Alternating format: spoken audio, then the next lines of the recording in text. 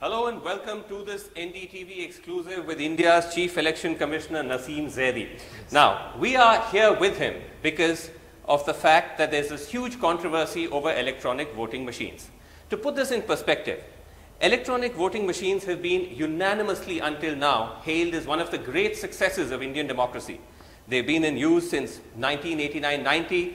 They've been used, I was just told, in 107 assembly elections and three Lok Sabha elections, largely without any incident. But now, because of persistent questions that have come up after the results of these recent assembly elections in Uttar Pradesh, Punjab and so on, the Election Commission has finally decided to announce a challenge, an EVM challenge for these machines uh, that are here in display uh, at the Election Commission just where we're doing our interview.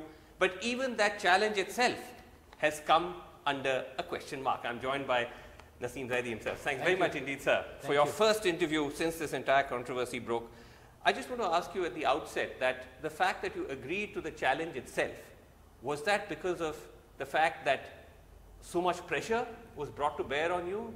Or did these parties actually provide any convincing proof that actually led you to declare this challenge? No, there was no pressure, there was no evidence. As a matter of fact, uh, after uh, five uh, recent election in state assemblies, Hmm. there were certain uh, complaints, there were certain suggestions. Right. In turn, we asked for evidence, although we have not received any evidence so far. So just to clarify, so far not a single party has provided you with any credible evidence that EVMs were tampered with. Yes, parties as well as, well as uh, ordinary people have written to us, but we have written to them to provide evidence. We have not received any evidence so far. None at all. Yes. So that was one part. And secondly, then we held the all party meeting. And uh, since there was a question on the functioning of our electronic voting machines, Hmm. what is the best way to demonstrate once again to people, to our political parties, than to ask them to come and tell us that the machines were really tampered. So this challenge that you've opened, you've given the political parties a certain deadline, I believe that is day after tomorrow, Yes, 26th May. 26, to come forward and submit their uh, representatives who are going to come and Yes. actually participate in the challenge. They have been asked to provide the names of three representatives. Three Their representatives who will choice. come. Their choice. Has, have- has so far, we are now already into Wednesday, has so far a single party come to you? Well, uh, until now I haven't received, but there are still two days to go. But so far not a single party has given you their submission. Yes. Okay. Now, the reason why some of them are claiming that they've not come forward is because they say that you've put such stringent conditions on this challenge that it doesn't make any sense for them to participate in it. No, actually- that you would say what? No, no, actually, the formulation of our uh, framework Yes. is according to the live situation which is obtained at our polling stations. Right. You are seeing the uh, electronic voting machine and VVPAT here. Right. This is the EVM here. This is the control unit, This is the control unit. this is the ballot unit, okay. and this is the VVPAT. okay. This is the machine that actually voters press. And Yes. this is where the paper trail comes out. Yes. And so this, is, laid out exactly as it would be Yes, in a polling station. in a polling station. So we have created our framework Hmm. according to real life situation Okay. and therefore we have to play by the rules which are obtaining at the field level. Now I will explain it why. One allegation is that our electronic voting machines are tempered. Yes. So the uh, machines are stored in our strong rooms. Yeah. We have to, and let me also, also explain that Yeah. we have asked political parties Yes. to select po- four polling stations. Right. That means four EVMs from four polling stations. They From could be from can, from where they can ask for those yes, machines. it could be from one uh, assembly constituency. It could be from four assembly constituencies. Could be from a state. Could be from all four states. So those machines are lying in strong rooms. They are coming to the ECI headquarters. Political party reps can accompany them. So now the machines are coming in sealed condition. Right. Therefore, our uh, rules have to be according to the situation of those sealed machines. Now, sealed machines cannot, Okay. let me further explain, Yes. sealed machines have to be tested, have to be tempered by the representatives of political parties in sealed conditions and therefore we cannot allow it to be opened. Okay, this is something which I was trying to understand that you're telling them that basically when they come, they can just press the buttons, they can try and use a Bluetooth or a, or a wireless Yes. device or a Wi Fi device, Yes. but they can't actually open it up. No, there are, there are two challenge statements. This is what I was trying to explain. Okay. The first challenge is that the machines are in strong rooms. Right. They are lying there in sealed condition. This is before the election takes place. No, no, this is after the polling. Oh, this is okay. Sorry, this is after the polling. When after the polling they go into strong rooms. So the first scenario is that the machines after polling Yeah. are kept in our strong room. They are in sealed conditions Right. containing results of those five election, five elections. Now the allegation is that these machines were tampered. Right. So how it can be tested? The only way to test is to bring this machine here And for them to try. and for them to try by sequenced uh, press keys Right. by use of mobile Wi-Fi or any other external device Right. Right. the result which is stored in this machine has to be altered. Okay. Now, if the machine becomes non-functional, Hmm. that means some unauthorized methods have been adopted by the challenger Right.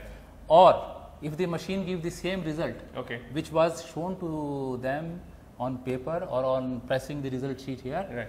then the Then it shows that the machine is fine. Yes, yes. Now the second, so in this condition, if you open the machine, that means to sh- uh, that means to show that the sealing of the machine is gone. Okay. Now in the second challenge, where they will be allowed to conduct full poll on this machine, that would require that the machine comes. Right. FLC, which is first level check, has to be conducted. That means entire memory contained in this uh, Is erased. is to be erased, Right. and fresh poll has to be conducted. And then in this challenge, they will be allowed to open the machine and carry out a visual inspection. They can open it and carry out a visual inspection. Right. But they can't start uh, tinkering with it and put in their own motherboard or any of that. No, no, that is not the situation which obtains in real life. So this is their argument. Their argument is that these conditions you're setting are not real life conditions. That in a real life condition, let me finish the question, that hackers or whoever else has a, has a, a malintent will not be going by these rules. They will somehow get access to these EVMs and they will do whatever they want. They'll rig it with their own circuitry and then it goes into the field. No, see, the first uh, first fact is that if they change the internal circuit, then it is not our machine. It is not our machine. This is a look-alike ECI EVM. Okay. They steal or unauthorizedly. As, as the Aam Aadmi Party demonstrated in the Well, assembly I would- when they claimed that they actually not- managed to hack a machine and produce would, a machine. I would not name any political party. Any unauthorized person steal or take away our machine, changes its internal circuit. It is not our machine. We cannot guarantee the result of such a changed machine. Okay, but your contention is that these machines are kept in such secure Yes. conditions Yes. that it's impossible for somebody to actually break into your strong room, Right. steal them and do that. Right. That's is Right. that correct? Right. But some of the other conditions you put, for example, you said that each party can send three people Yes. and they only have to be Indian citizens. Yes. They can't be foreigners. Why is that? Why not just throw it open? Anybody in, comes from anywhere in the world. See, we are talking about Indian elections. Yes. We are talking about Indian sovereignty. Okay. We are talking about a electoral process which is owned by the people of this country. This is one fact. The second fact is we have enough number of our IT experts. I'm Sir, but- sure. I'm sure. Sir, it may, it, it may be an Indian election, but the fact is, if, if people want to commit wrong, then they can draw on any uh, talent or any, any uh, person from anywhere in the world. And there is also, as you know, a lot of global interest in this. Right. So, again, doesn't that just add to doubts when you put these sort of conditions? No, it doesn't add to any doubt because we are confident our Indians have lot of IT expertise. Okay. I'm sure uh, our political parties, if they decide to participate in our election, they will bring the best IT experts of the country. And they will get three hours or four hours, I'm Four hours. Four. Per, uh, per, I mean, not per machine, but they'll get a four hour session hours. to be able to uh, do whatever they want right, with this. right. Okay, but they can't take the machine away. No. Uh, they can't go and do whatever they want to do it at home or any no, of that. No, no. Then it is not our machine. Then you, as you keep saying, it's it's not your machine. This is look-alike ECI EVM. Okay. And we cannot guarantee the result on such a changed machine. Okay, so if the machine goes out of your possession, then whatever happens to it, you say that's not We your are, we are not responsibility. responsible for it. But then, what is to guarantee that the machine, somewhere along the process, from the time when it actually comes out of the units where it's manufactured, and then it comes to, uh, you know, the final voting booth, and then to your strong room, somewhere along the line, some uh, wrong elements get a hold of it, they make whatever changes they want, and Yes. then it comes into uh, into play. So Actually- how, how how can you guarantee that that that doesn't happen? This will require a little bit of uh, longish explanation. Okay, Let- but in a in a brief, the no, brief let, explanation. let me first start from the manufacturer level. They Okay. say that at the manufacturing level the chip is changed. Right. Here the argument is well established argument that the manufacturer needs to know the key number of the candidates to be fielded in a future election. Right. For example, this machine, for example, manufactured in 2006. Hmm. How would the manufacturer know that uh, you are going to contest in X constituency and your sequence number will be Y? So, you're saying that that many X factors that come into play. This is one factor at manufacturing level. Okay. Then when the machine travels to the field level, then before the election, few months before, there is a first level check where the entire machine is opened. The experts come in the Right. presence of political parties, check it, and they can detect if there is any change in this uh, hardware or uh, software because there is a certain functional uh, testing. so that out. also happens. that also happens. There's another test which happens which I want to ask you about, which you also mentioned several times, that political parties themselves send their representatives Yes. before a particular uh, election. Yes. And then you do a kind of a straw poll Right. where they test machines Right. and then they, uh, they validate them and then they actually come into use. And this happens in election after election. Right. But despite that, these political parties are not convinced. You see, um, there are multiple levels at which political parties and candidate participates. They themselves conduct mock poll on uh, by the number of 1000 votes, 5 percent EVMs, half an hour before the actual polling and they sign it, they are satisfied with the uh, functioning of the machine. Let me also clarify. One of the one of the Aam Aadmi Party members, when I asked him, I said, "Listen, you yourselves are present there. You've seen that these machines work. You you must have done that in Punjab and in other states.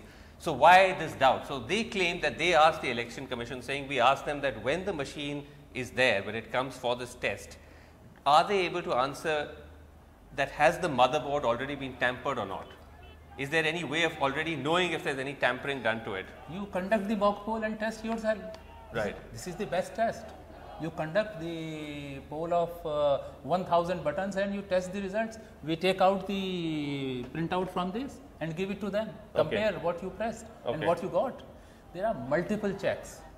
That can be done in advance. So why do you think that? The, where do you think this doubt is crept in? Well, that answer uh, I cannot give to you. It is for them to. You have largely played this with a very straight bat, with a very apolitical bat, except for this one instance when you responded to the Aam Aadmi Party and you said in your letter that it is for your party to introspect as to why your party could not perform as per your expectations and it's unfair on the part of the party to attribute unsatisfactory poll performance to the alleged tamperability of EVMs. Was that No, somewhat was- unnecessary, you think? No, I, I must say at this point in time, this response was in the in the context Right. of the letter received here. In res- to be exact, in response to para 14 of the letter, and therefore it was from the election commission side to be totally apolitical. Okay. Uh, now you are reading it that uh, some uh, interpretation has been given to it. it I'm just reading out your text. yes, it was never meant to be political. It was not meant. It was No, not meant not as a at all. political We are, comment. we are a political institution. Not not at all. no pressure from you, Nothing. from the government, or from anybody at no, all. No, we are an independent institution. We are autonomous institution. The island you are standing on is an is an independent institution. We have no pressures. and may it always uh, remain so. I do want to ask you though that in the event that nobody responds to this challenge, would you consider perhaps relaxing some of these rules? Because otherwise it will render the entire purpose completely No, you- meaningless.